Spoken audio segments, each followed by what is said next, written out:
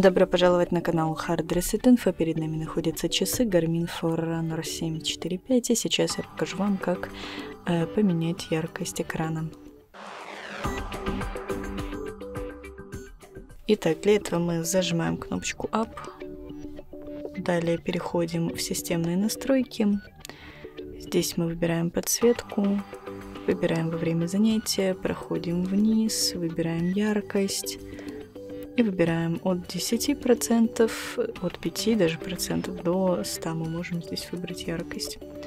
Выбираем, например, 50%, нажимаем на галочку, далее возвращаемся и выбираем теперь не во время занятия.